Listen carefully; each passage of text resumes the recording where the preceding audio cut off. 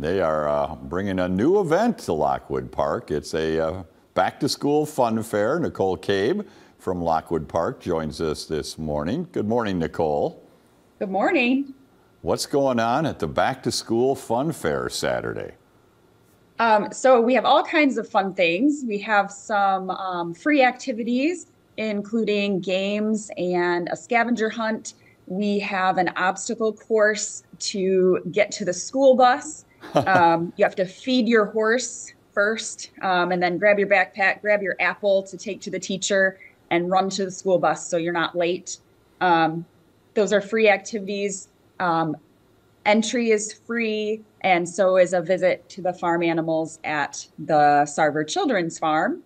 And then we have some additional paid activities. We have um, the the big event, the big new event is back to school photos with one of our cows, Moon or Zorro. And um, students will hold a chalkboard sign. We'll have all different chalkboard signs with different. Um, oh, those are that's kind of the the, the, trend yeah. now. Where in the third grade or in second grade, yeah. I want to you know make friends that, and you're gonna get.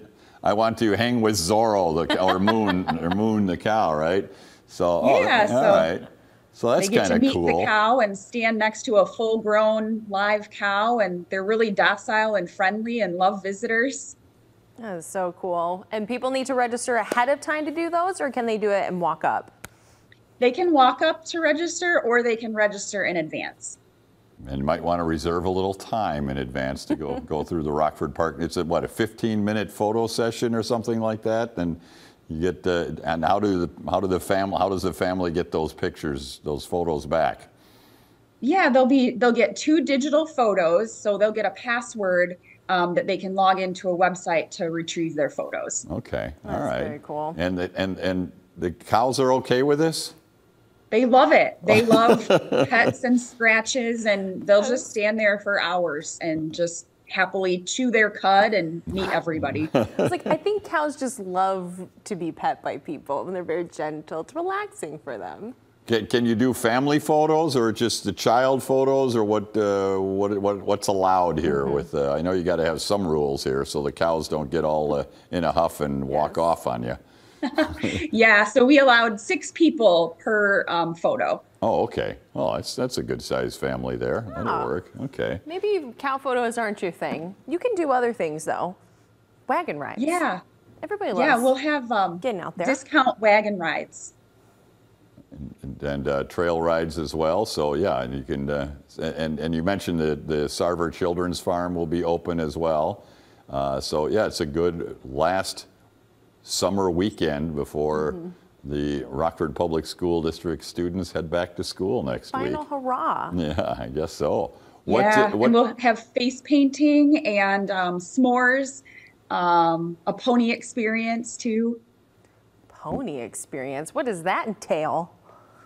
Uh, so um, kids get to ride uh, a pony or a small horse for five minutes, and then their other five minutes in the pony experience, um, depending on which Saturday it is, they can either paint a pony, groom a pony, or lead a pony through an obstacle course. That's pretty oh. cool.